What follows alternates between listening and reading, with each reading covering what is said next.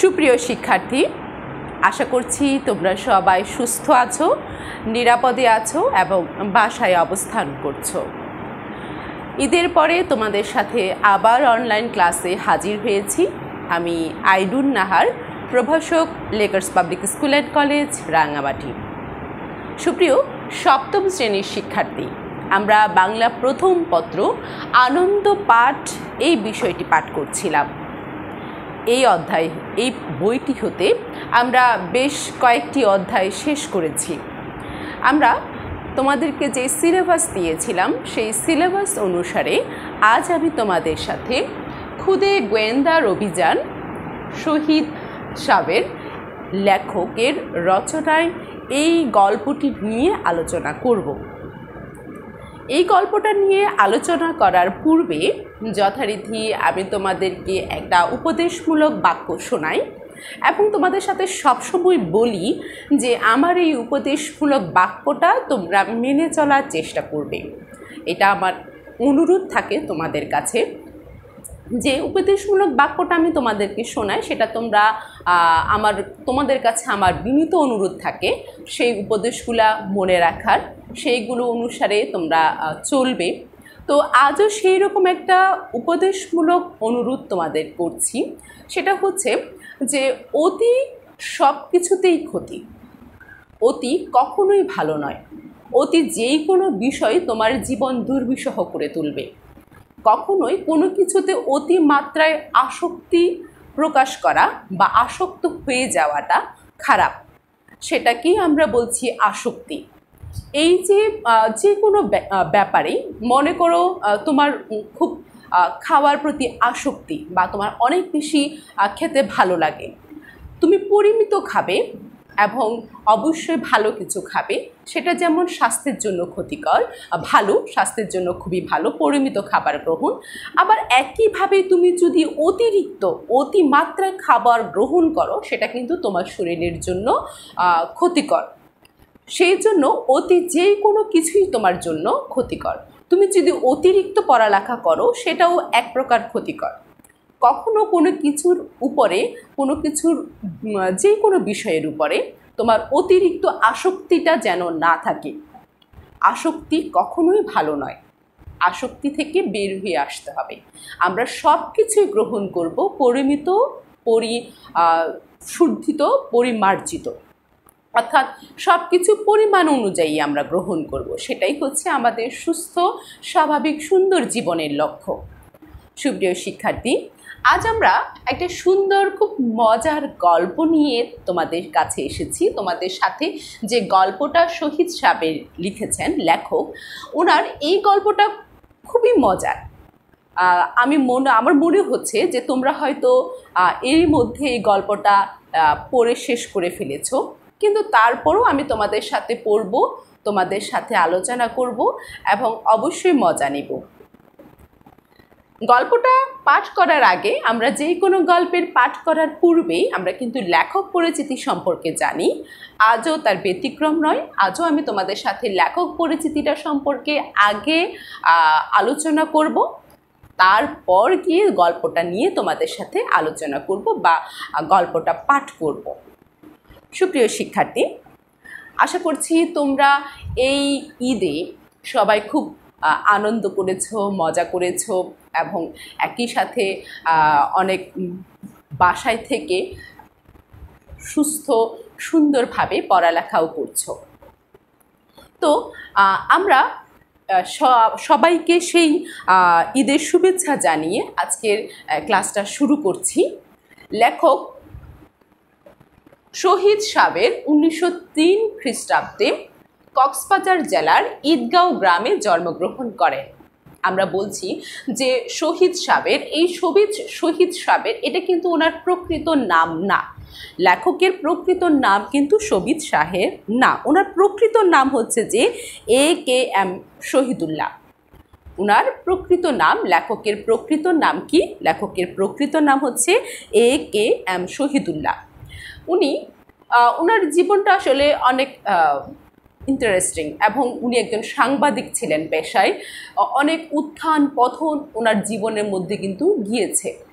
উনি কিন্তু এই যে শহীদ সাহেবের নামে পরিচিত হয়েছেন, তার কারণ হচ্ছে কিন্তু উনি কিন্তু যখনই লেখাপড়া অবস্থায় ছিলেন, তখনই কিন্তু উনি বিভিন্ন সংগঠনের সাথে, রাজনৈতিক সংগঠনের সাথে জড়িয়ে গিয়েছিলেন।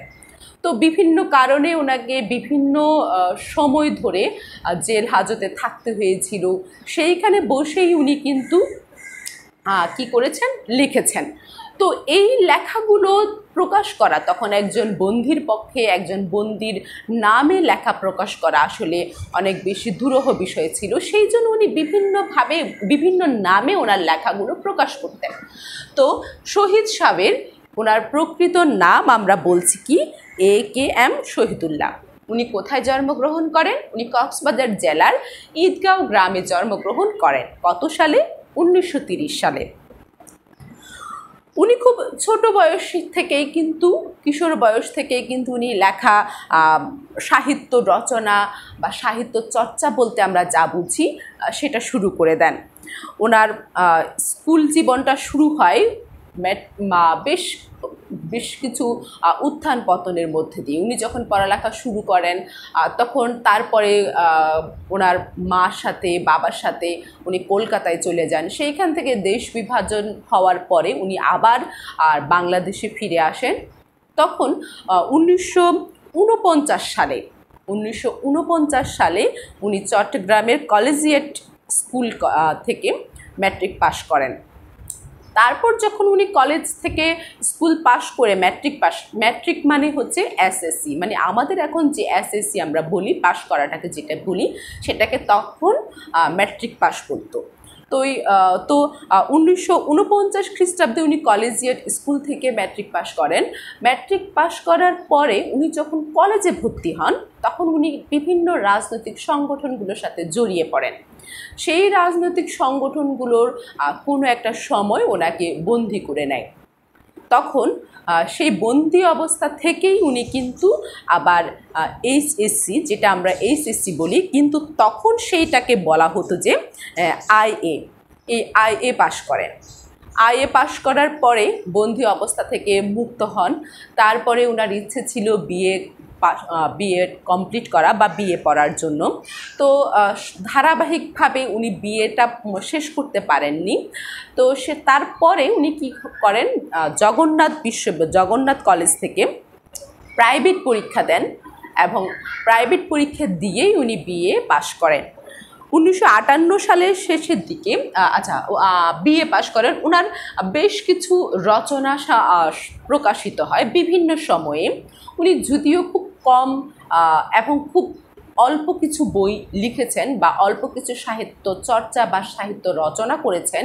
কিন্তু ওনার যে রচনা সমগ্রগুলো আছে সেইগুলো কিন্তু বেশ চমকপ্রদ এবং বেশ সুন্দর ছিল, সাবলীল ছিল।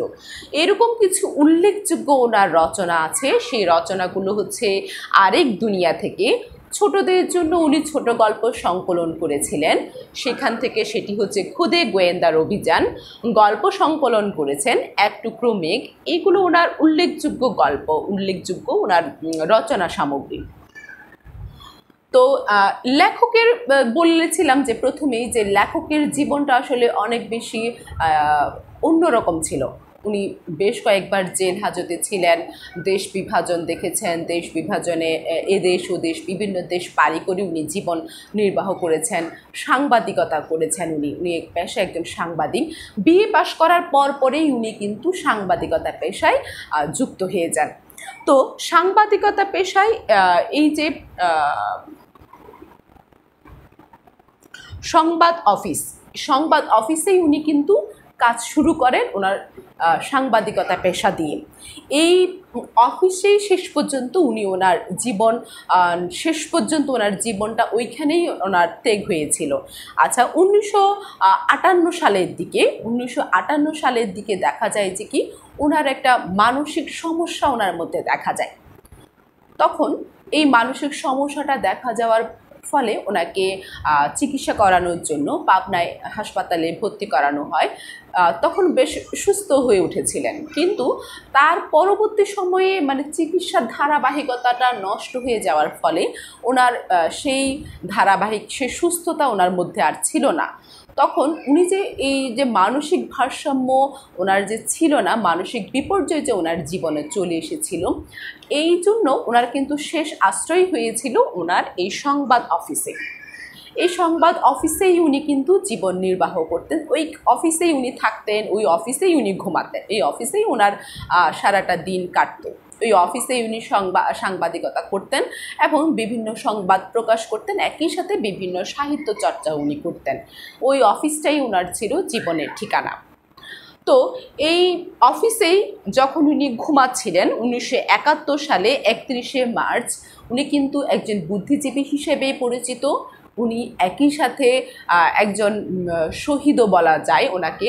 কারণ পাকিস্তানি হানাদার বাহিনী উনিশশো একাত্তর সালে উনি যখন এই সংবাদ অফিসটিতে ঘুমিয়েছিলেন, মানসিক বিপর্যস্ত একজন মানুষ যখন ওই অফিসে ঘুমাচ্ছিলেন, তখন হানাদার বাহিনীরা ওই অফিসে আগুন দিয়েছিল এবং উনি সেই অফিসে ঘুমন্ত অবস্থায় উনি অগ্নিদগ্ধ হয়ে মারা যান। কত সালে? উনিশশো একাত্তর সালে, একত্রিশে মার্চে রাতে। উনি অগ্নিদগ্ধ হয়ে সেই অফিসেই মারা যান। তাহলে আমরা লেখক পরিচিতি শহীদ সাবের বা A K M, A K M Shahidullah সম্পর্কে বিস্তারিত জানলাম। যেটা তোমাদের পাঠ্য বইয়ে আছে, সেটা, সেখান থেকে আমি তোমাদেরকে দিচ্ছি বিভিন্ন তথ্য এবং একই সাথে আমি আরও কিছু তথ্য তোমাদেরকে দেওয়ার চেষ্টা করেছি। তোমরা সেগুলো টুকে রাখবে, ওনার সম্পর্কে জানবে, ওনার লেখা সম্পর্কে পড়বে। তো আজকে আমরা খুদে গোয়েন্দা অভিযান এই গল্পটা নিয়ে হয়তো আলোচনা করব না। পরবর্তী ক্লাসে আমি তোমাদের সাথে এই খুদে গোয়েন্দা অভিযান নিয়ে আলোচনা করব। কিন্তু এই খুদে গোয়েন্দা অভিযানটা কে নিয়ে সেটা সম্পর্কে তোমাদের ছোট্ট একটু ব্রিফ দিয়ে যায় একটু ছোট্ট করে বলে যাই, যেন আগামী ক্লাসে তোমরা এটা ভালো করে ধরতে পারো বা পড়তে পারো বা আমরা গল্পটা নিয়ে আলোচনা করতে পারি। এই গল্পটা হচ্ছে একটা অষ্টম শ্রেণি পড়ুয়া ছেলে তাকে নিয়ে, যে গোয়েন্দা বই পড়তে পড়তে জীবনের সব কিছুকেই অ্যাডভেঞ্চার মনে করে। জীবনের সহজ সরলতা বা জীবনের যে জীবনের যে প্রবাহ, সেটাকে ও ভিন্ন দৃষ্টিতে দেখে। কারণ গোয়েন্দা ও বই সে এত বেশি পড়ে ফেলেছে যার দরুন ছোটোখাটো যে কোনো বিষয়গুলোকে সে গোয়েন্দার দৃষ্টিতেই দেখে। এবং এই গোয়েন্দার দৃষ্টিতে দেখতে গিয়ে যে জটিলতা তৈরি হয়েছিল যে সমস্যাটা তৈরি হয়েছিল সেই জটিলতা সেই সমস্যা সে হাস্যকর বিষয়টা নিয়েই আমাদের এই গোয়েন্দা আহ, খুদে গোয়েন্দা অভিযান গল্পটি। এই খুদে গোয়েন্দা অভিযান গল্পটি আমরা পরবর্তী ক্লাসে পড়ব। খুবই মজার, খুবই সুন্দর একটি গল্প। তোমরা যদি পারো বাসায় পড়ে নিবে, তাহলে আমি যখন পাঠ করাবো তখন তোমাদের বুঝতে বা পড়তে আরও বেশি ভালো লাগবে। তো আজ তোমাদের সাথে লেখক পরিচিতি সম্পর্কে আলোচনা করলাম। তোমাদের যে কোনো সমস্যা যে কোনো প্রবলেম পড়া, বুঝতে না পারা বিভিন্ন সমস্যা নিয়ে তোমরা কমেন্ট বক্সে জানাবে। তোমাদের নাম রোল নাম্বার লিখে তোমাদের উপস্থিতি নিশ্চিত করবে। সবাই ভালো থাকবে, সুস্থ থাকবে, অবশ্যই বাসায় থাকবে, নিরাপদে থাকবে, গুরুজনদের বা বড়দের কথা মেনে চলবে। কখনো এখন অনেক বেশি গরম পড়ছে। বেশি বেশি করে পানি খাবে বা ফল, মূল খাবে বা পানি জাতীয় জিনিসগুলো একটু বেশি করে পান করবে। তো সবাই ভালো থাকবে। পরের ক্লাসে তোমাদের সবার সাথে আবারও দেখা হবে। সবাইকে অনেক অনেক শুভেচ্ছা। ধন্যবাদ।